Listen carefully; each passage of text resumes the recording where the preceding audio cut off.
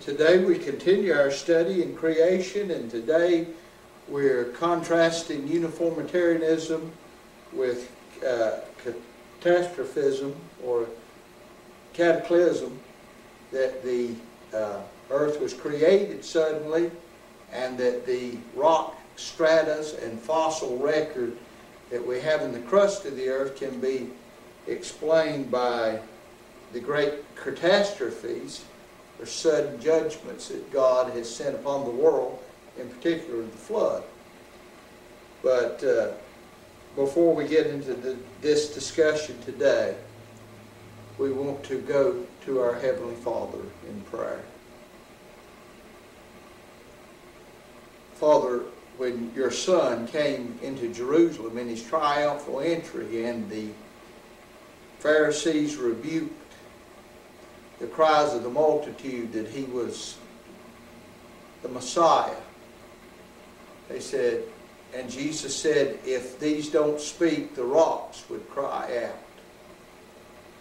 And in one way today, we are looking at the rocks crying out and giving testimony to the truth about the record that, uh, of the Word of God. And we pray that in our limited knowledge and in our hasty discussion of, of these things, that we would be clear and focused and speak the truth clearly.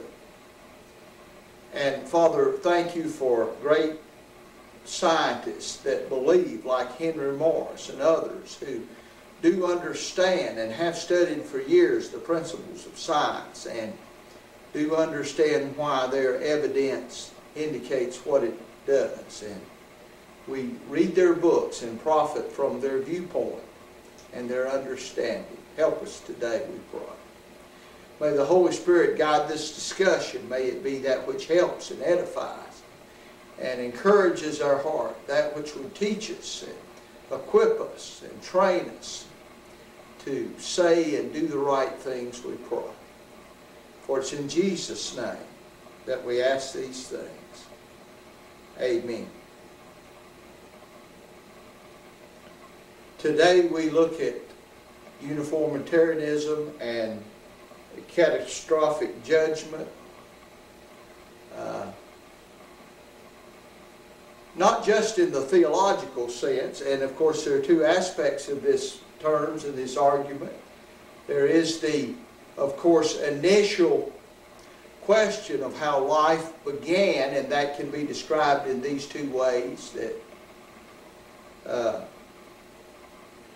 yeah, scientists, of course, uh, that uh, and people who are exponents of the evolutionary viewpoint say that that life began from, as we've discussed, non-living things, and that this happened in a one-time event where the principles of science were suspended, but that, that the evolutionary spiral and the survival of the fittest and the ordinary dealings of science with man and living things prove evolution.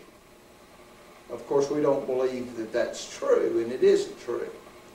And of course, the creationists say that God came on the scene suddenly and out of nothing suddenly produced everything and that uh, that much of the fossil record and much of the strata and much of the uh, unusual situations that we find in rock strata and in unusual places that this is produced and explained by God's worldwide judgment of the flood and great canyons and great riverbeds and certain things that the evolutionists point to and say it took millions of years to develop the Grand Canyon.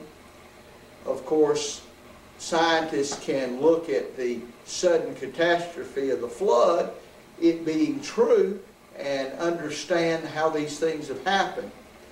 Uh, most of the uh, explanation biblically for the uh, fossils and the rock strata, of course, is due to a hydriotic effect, that is the effect of water over the earth. But sometimes in volcanoes, when this uh, and and uh, lava flows and in the sudden eruption of volcanoes, you get something similar about the changing of strata and the sweeping away of trees and the preserving of fossils. And so, through the study of all these things, uh, we have learned that though the earth appears to be very ancient because of certain things, that it, it is really very young. And if one studies the, uh, the scientific principles, one finds that it is very young. And the, the evidence of the strata and the explanation of the fossils point to that more than to the fact that it is very, very old. And so today uh, we say that even though uh, the biblical view is catastrophe, that creation came on suddenly and that the rock strata and the things of geology are determined and caused by the flood, and this is the explanation, we, of course, recognize that once God created His creation, that He maintained it providentially and the life in it, not only physically but spiritually, by His providential care, and that would have involved the usual, ordinary working of scientific principle. Now, those evolutionists that believe that it was uniform, uh, they also recognize that there can be local catastrophes in a given situation, but they do not believe, of course, in the worldwide flood. And so they reject the, uh, the, this as an explanation for uh, each issue. But today we don't want to talk so much as looking to those original things as to just look at it from a scientific viewpoint and the study of geology. And of course, the study of geology maintains these two same views as two uh, explanations as to why certain things are. We come first to this matter of fossil preservation. Now, of course, a fossil is an imprint of a plant or an animal uh, that is maintained in a rock. It's, it's imprinted, it's preserved in a rock strata. The bones were suddenly crushed or pressed, or the leaf was suddenly compacted together. And, and the very idea of fossils requires suddenness. Because if you have a, you see, if you have, for instance, a cow dying in a pasture somewhere, and he lays there a million years, his his bones are going to be scattered around in the wind and the rain, and uh, uh, they'll decay and rot and, and waste away, so that where you find animals with their bone structure, as they do so often, intact, and you find great parts of them preserved in the rock, the very idea that there are fossils require that there was something that happened suddenly before time and erosion and conditions of wear and deterioration could occur so that those bones are preserved in that state in the rock. Now this, this of course argues against the very principle that all these things took millions and millions and millions of years. Whatever caused the fossil to be imprinted in the rock had to happen suddenly. And so this of course is, is a, a great principle in understanding this kind of situation. Now, uh, the unusual rock strata must also be, uh, though uniformitarianism wants to rule out the unusual, but the unusual rock formations have to be considered with the whole too. And there are certain rocks that and, and stratas that have been formed that aren't being formed now and, and, and over the earth and can't be measured and explained in any other way than, and then some unusual event, and they must be considered in the record too. And all of the fossils and all of the rock strata, if the Bible is correct and was caused by the flood, every strata can be explained by something that happened suddenly, and some of them can only be explained in this way. Now, that is evidence against uniformitarianism because if some of them have to have a catastrophe and all of them could have been happened in a catastrophe, then of course that militates against the position that these happen slowly and layer by layer by layer over a thousand years just got together until over a million years it pressed together and formed this imprint of the fossil in the strata layer. And all of these things, of course, uh, argue uh, uh, uh for sudden judgment and catastrophe, sudden action forming these things instead of over a uh, long period of time. And of course, the fossil record itself, according to the uh, uh, geologist who believes in evolution, the fossil uh, record is the way you date the rock.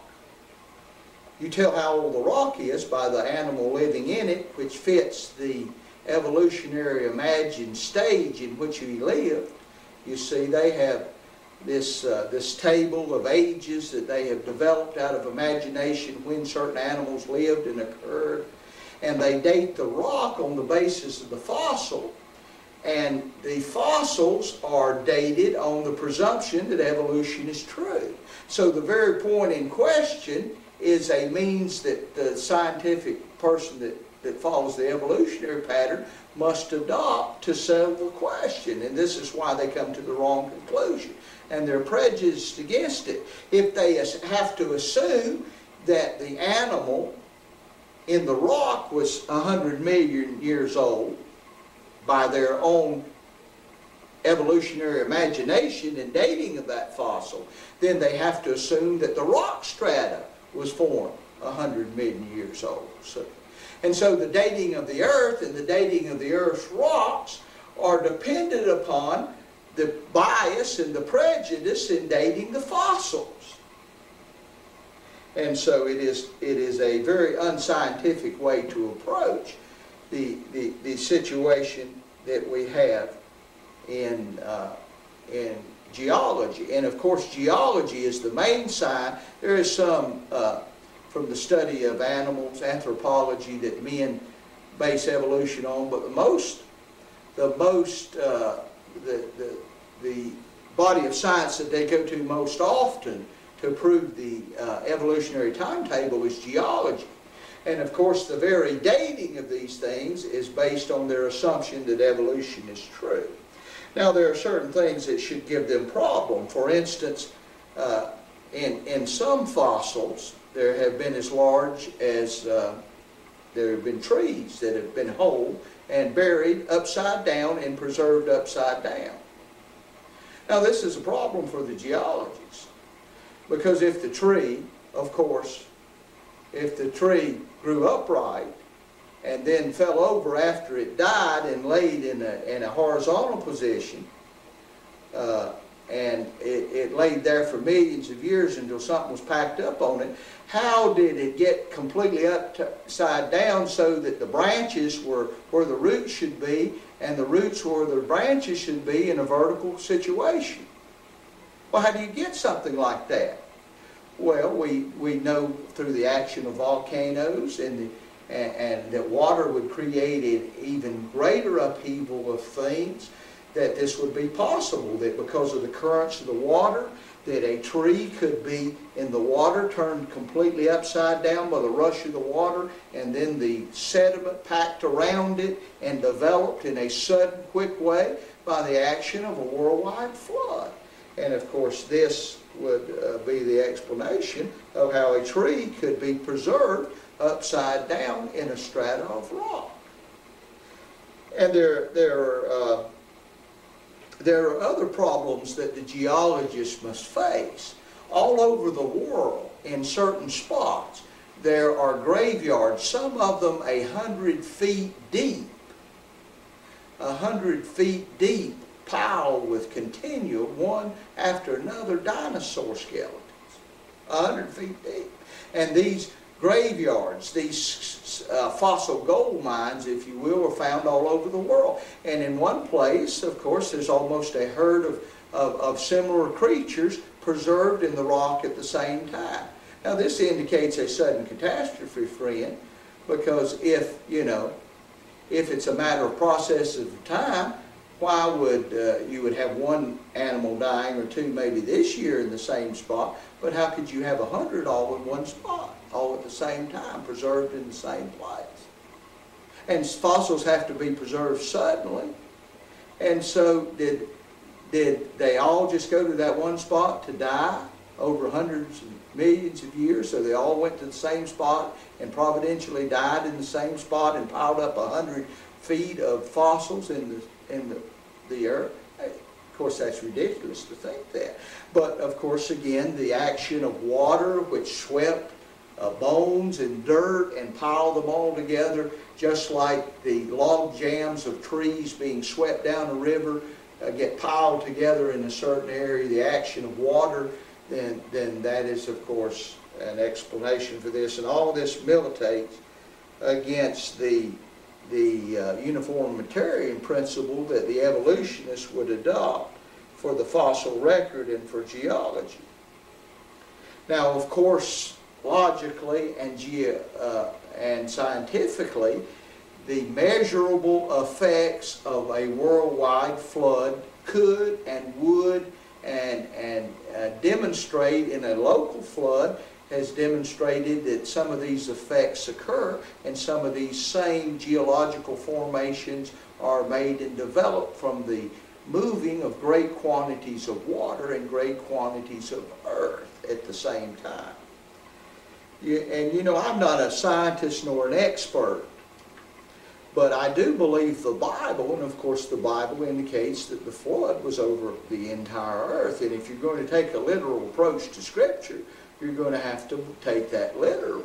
And of course, if there was as much water as the Bible indicates that covered everything, the highest mountains on the earth, and it took all those days for the water to subside even before the ark could rest upon the mountain, there was a huge amount of water on this earth. And not only that, friend, you have to consider that probably before the flood there was not rain. The Bible says that the earth was watered from a mist that come up from the earth. There was probably an ice canopy over the earth, and when the flood and the rains came and the destroying of this ice canopy, the Bible also says that the sources of water within the earth, the fountains of deep, were broken up. So that you not only had water coming down from the sky, you had water gushing forth from the, from the, the deposits that were in the earth and you had great upheaval of strata and layers all at once of the rock. And, and finally, you know, I, I would in this area especially, the, the, the reading is so detailed, the explanations are, are such a scientific nature that I would, uh, I would urge you to spend some time and get a, a book like uh, Scientific Creation by Henry Morris, where he discusses uh, the principles of uniformitarianism and the principles of uh, catastrophe and cataclysm as it affects this just this scientific aspect of geology, though he he discusses, of course, all the problems scientifically with creation. And read the amount of material and read his explanation. Get some good source books written by, by qualified Christian scientists that write in this perspective. And you can, you can get the information you need to understand what I'm going to tell you is true.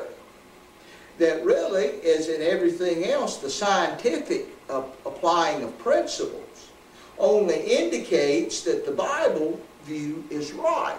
That what we have in the fossil record and what we have in the fossil pattern could not have been produced over millions of years and a long period of time.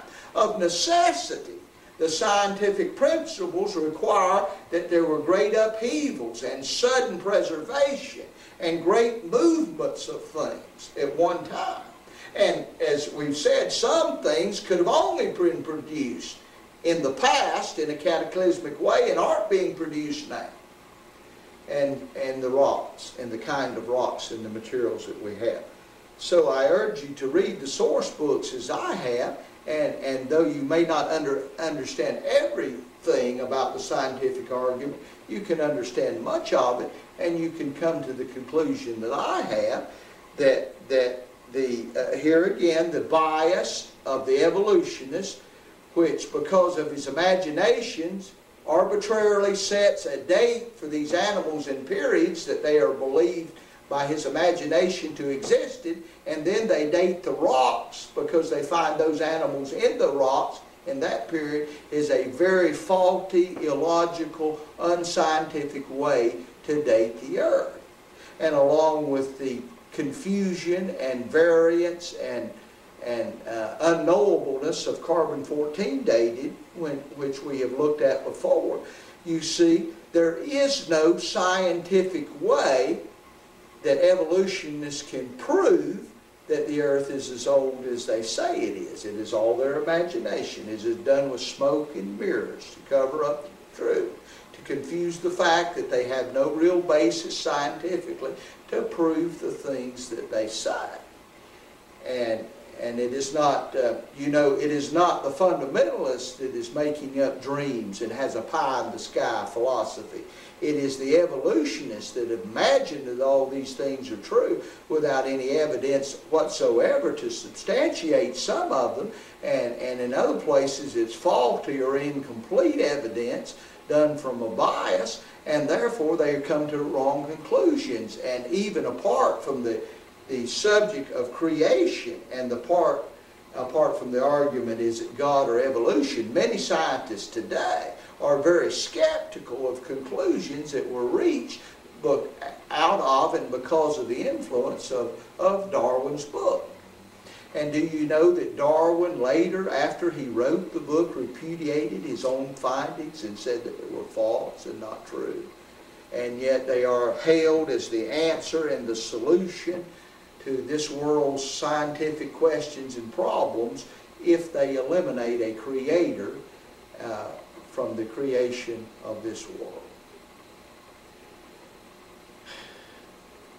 The Bible record is true, and of course the Bible record is that creation was sudden, and that God does maintain His creation now, and He did before the flood, and He did after the flood. He maintains it on basic uh, principles of science but it's creation and the development and the upheaval of the rock strata and the preserving of fossils, all which require some sort of sudden action and not uh, would not really be logical or possible over a long period of time, where decay and erosion and corruption and things would would scatter the remains. It is a very all the evidence, of course, is on the side of catastrophe in the Bible, and very little evidence, if any, is on the side of the evolutionists. So I hope that at least our thoughts in this direction, and I'm sure that good books upon this subject will broaden this area of argument for you, and it's just another mountain in the mountain of evidence. It's just another argument it's just another demonstrable thing that indicates that evolutionist is not scientific in his approaches, and real science only validates the, the Word of God and the Bible's view instead of the evolutionary view. And so I hope that the discussion of these things today has been of profit and use in your thinking about the age of the earth and how it is dated and how it is measured. Amen.